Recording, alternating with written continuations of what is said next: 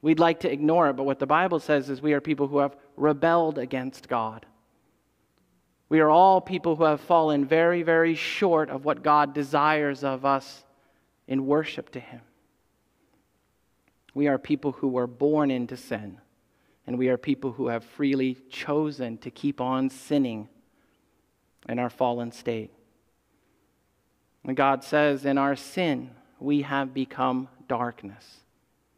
We aren't people who just do evil things, we are people who are evil itself. We are people who deserve to die apart from God. We are people who do not deserve to be accepted by God and have a relationship with God. And of course, that's really, really bad news to hear, isn't it? But that's not even the worst part about what the Bible says. As bad as that is, there's more. What the Bible says is we're not just sinners, but we are people trapped in our sin with no way out. There's nobody and no thing that can get us out of this predicament of our sin.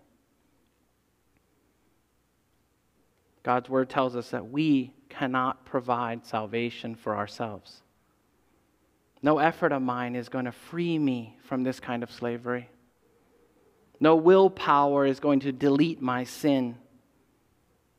No positive thinking is going to get me out from my sin. No good works are going to get me out of this kind of spiritual death. There's no sacraments that, if I could just perform them rightly, or pilgrimages, if I could undertake them well enough, will get my sin off of me. It's stuck on me. There's no way to buy my way out of this or work my way off of this. I can't even begin to get started to get out from under all my sin. Not even a life of kindness is going to get me out of this. Nothing I can earn or accomplish is going to save me. So, how do I get what I need most?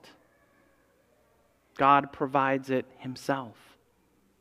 The Father has provided the Son, whose salvation provides us atonement from our sins. He is the perfect substitute. The Lord has provided not a ram, but the Lamb of God Himself who dies in our place. Jesus has provided Himself to provide you and me with salvation.